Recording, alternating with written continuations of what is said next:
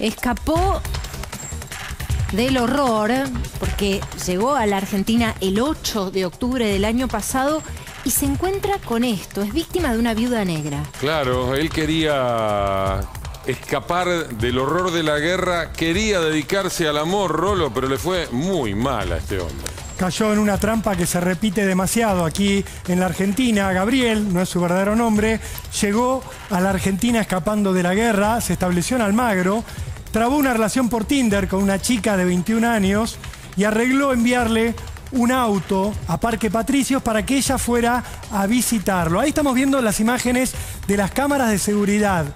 La viuda negra, que se hacía llamar Rocío Blem, este era el nombre que usaba, algunos decían, qué ironía esto de Blem, que después lo termina limpiando, llega al departamento a cara descubierta, suben, se ponen a ver Netflix, se ponen a ver YouTube y así la vemos escapando dos horas después de haber llegado cubierta por varias camperas que le está robando a Gabriel. También se lleva sus teléfonos celulares, se lleva los, los relojes de sus padres, plata en efectivo. Escapa caminando con las llaves de Gabriel. Lo deja en su departamento desmayado. Lo último que recuerda a Gabriel es que ella le pidió hielo para la bebida. Después se durmió durante 12 horas y cuando despertó estaba en este estado que ustedes ven en el palier del edificio. Él no sabe cómo sale de su departamento, baja a la planta baja con una bolsa, está claramente bajo efectos de la droga. Atontado, está atontado, tan atontado estaba que cerró la puerta del departamento y no se dio cuenta que no tenía las llaves. Quedó encerrado del lado de afuera.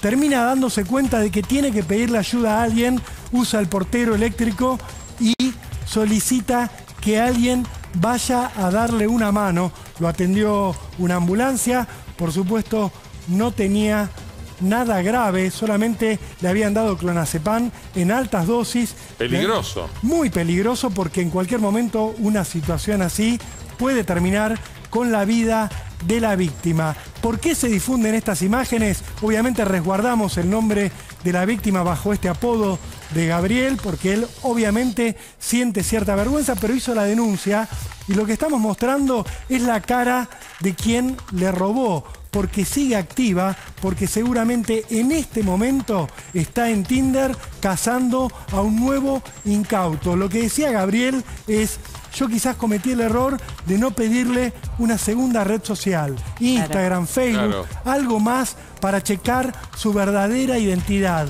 porque realmente no. tengo ningún dato que nos permita ahora llegar hacia ella. ¿Operaba sola? Porque hay muchos casos de viudas negras que hacen la tarea de dormir a quien sería su víctima y después entran o dos hombres u otra mujer al departamento para terminar de vaciarlo, ¿no? Es algo habitual, Caro, eso que contás, que la mujer sea el anzuelo y que una vez que duerme a la víctima entren ladrones a llevarse el botín. En este caso, no. Esta joven, que no sabemos cuántos años tiene, ella dice que tiene 21, actuó en soledad. Una vez que lo durmió, le recorrió todo el departamento y se llevó todo, hasta las camperas. Imagínense que no le dejó nada de valor. Tres teléfonos celulares, dos relojes que eran muy valiosos para Gabriel. ¿Por qué? Porque eran herencia de sus padres. Se los robó esta desalmada que obviamente además... Una chorra de la que hay que cuidarse porque anda suelta. Blem más que te limpia es te lustra en este caso. Así es, Luis. Atención con esta joven que a pesar de la denuncia sigue dando vueltas por la calle. Gracias, Roberto.